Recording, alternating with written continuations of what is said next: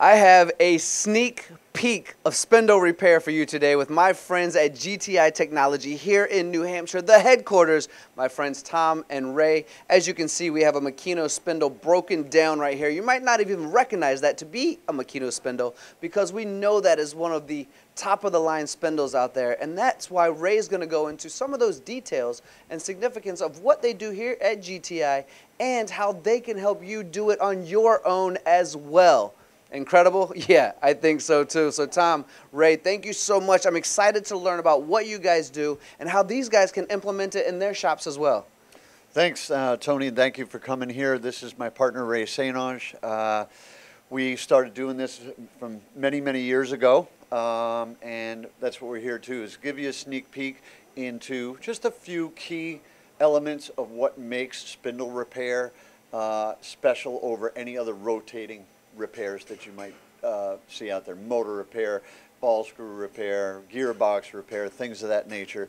We're going to uh, give you a sneak peek and let you know that you know this is something that we can bring to your door. Um, we have trained some of the big three uh, of exactly going into their lab, showing them best practices for uh, spindle repair, and we're going to give you a couple of those cues here today. Uh, so I'm going to start out with a few of those. Is when a bearing locks up, a spindle seizes, or it locks up in, in the typical spindle failure, it wears away material and damages and bends and, and unstraightens that uh, shaft or housing that we have to bring back to a micron or less run out and size geometry. And Ray, why don't you explain what we do to make that, you know, what, what, what do we do to make that happen? So what we do is we grind the spindle shaft down to, to make it straight, but then the shaft is obviously small. We then chrome plate it to bring it back up in size, and then regrind it back down to OEM tolerances or better. Yep, and we can do that on ID housing bores, ID tapers, and one of the beauties of that is you know, typically the hardness of a shaft or housing is somewhere around 60 Rockwell. Uh, actually, a lot of them are more in the 50 to 55 Rockwell. Okay, well, after hard chrome plating is resurfaced, that surface bec becomes not only straight, perfect, parallel, and round, and perfect size, it's now 72 Rockwell. So you can imagine the wear resistance of those components that are reworked can be even better. Um, you know, some of the other uh, pointers that we do during our training is proper balancing of not only the components but how to trim balance at speed. Uh, some of the other things um, is you know how to measure run out and change run out. You know, run out is something that can be altered even after it's chrome plated. Maybe you want to explain, expound on that.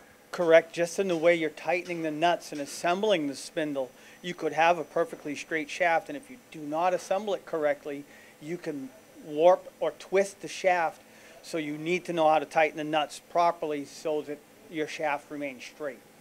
Yeah, and there, there's a lot of a lot of tribal tricks to all those things that we're talking about. So, you know, uh, again, it's something we want to emphasize here at GTI. This is a Makino uh, V22. Uh, it sort of has a special lubricate. You know, every spindle brand is special and has their own niches, but this particular one has a lubrication system that actually recirculates itself and refrigerates itself. And why do they do that, Ray? Maybe you could explain that. So what they're trying to achieve is that the whole machine stays at the same temperature. So they run the lubrication through the shaft, through the bearings. They also run it through the lead screws, the machine base, so as it warms up, the machine grows as a whole. Yep. Um, and it just makes a better product at the end of the day. Yeah, nothing grows and moves around so that uh, you're able to get more precise parts from the CNC machine tool. So, um, you know, that's kind of what we're promoting here. Um, and we'd love to teach you how to do it and walk you through all the paces. Uh, Tom, when I'm listening to you guys describe the ability to do it on your own, and we have a Makino spindle out here, and we think of a, a superior spindle in this way, and there's a lot of those guys out there, and then there's some that, you know, are a bit more basic and easy to repair, but you have one of the more complex ones out there to build confidence with the audience, I'm sure, to let them yeah. know we can do it, we'll educate you on how you can do it, right? So all of this exists what size shops, if I'm listening to this video right now and I'm listening to you guys talk, if I own one machine, is it five machines, 10 machines? Is it large shops? Is it medium shops? Who all should dive into the possibility of doing this? Should everyone be educated on how to do this? Maybe even, especially a small shop who doesn't want to send it out and work on something. Where do we sit when it comes to that? Sure, excellent question. Um, most of the people that are, you know, have 30, 40 machine tools, probably not practical to pull somebody and train somebody and have a small spindle room off to the side. But when you're looking at a uh, powertrain plant, uh, your Boeing, some of the big companies that are running 500 thousands of machines, and, and, a lot of times all of the same type. You know, there are some places that have 40,000 uh, robo drills under one roof. Well, in that case, better have your own spindle lab. Otherwise, you're going to be exhausting 10 vendors of our size, not just one.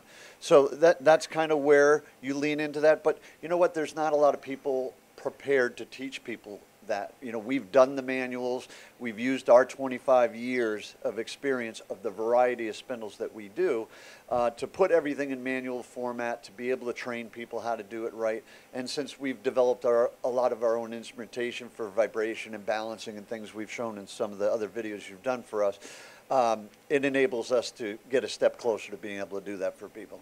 Yeah, that's I'm I'm grateful. I'm sure the people watching are grateful. As a leader in the industry for spindle repair, doing it 1997 and beyond, you guys make a great friendship and partnership. Excellent technology as I'm walking around your facility as well. So thank you for doing that. If someone is now excited, I know you have a lot of partners out there already who are implementing this system with you guys. But if someone is excited and wants to learn more, how can they find out more about you? Sure, they can reach out to us at www www.gtispindle.com or they can reach out to our direct number at 603-669-5993. And just out of curiosity, do you offer tours of your facility for someone who wants to come through and learn more about your locations? Absolutely, and that, that that's another thing that reminds me to bring up. Not only are we going to teach you how to rebuild your own spindle or if you use us as a spindle repair, we'll also teach you another important thing here at GTI is it's not that you're, you know, if your spindle breaks, they break for a reason. And it's very important that you understand why it failed. And we will teach you those post-mortem tricks on being able to know, you know, was it contamination? Do we need to improve the front end of the spindle to make it last longer? Um, is it lubrication induced? And the, the machine had a failure uh, where the lubricator shut off, and the next spindle you put in it is going to fail again if you don't know about it. So conveying that information and showing you how to do proper postmortems to know exactly what caused the machine or the spindle to fail is super important. Uh, you know, if you have an electrical problem, it's going to kill another spindle. If you've got an operator issue, a coolant issue, any of those issues all can be identified by what we see on the inside of the spindle when we take it apart. I think you'd agree. I agree hundred percent. You can see, you know, tool changer arms that are not aligned up, uh, spindle crashes. We can see all that here and feed that back to you. And Ray, correct me if I'm wrong, but knowing you guys for a while now, walking around this shop, learning everything that I'm learning from you guys, you kind of are like this one-stop shop saying, we're going to educate you. We can do it for you. We have the software to help you learn. I mean, everything all in between when it comes to spindles. You guys are a leader in this industry and willing to share that knowledge with others. Absolutely, we are. And, and it helps you get more product out the door because we could potentially stop a problem from continuing to happen that you might not even know you have.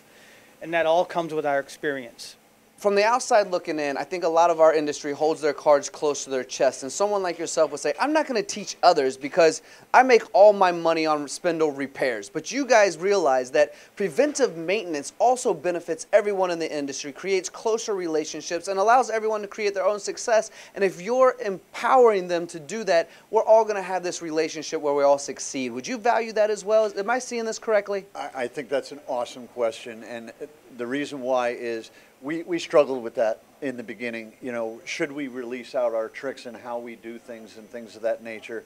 Um, and when we put our toe in the water and started working with people doing their own spindles, it built more business, more trust. So now when somebody has a spindle that they can't do, or it may be over their head, or maybe they're just doing bearing changes and we get the harder ones that need to be resurfaced and things, it still ended up being a a, a net positive in more business with those companies. So it's excellent question, but it definitely worked out for GTI.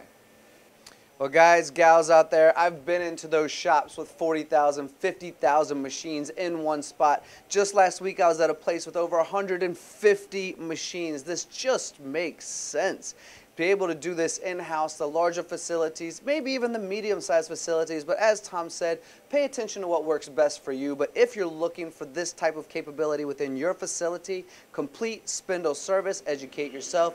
GTI Spindles, a real leader and a real gift for anyone out there who's ready to learn. Guys, thank you so much for sharing your decades of wisdom. And thanks for coming, Tony.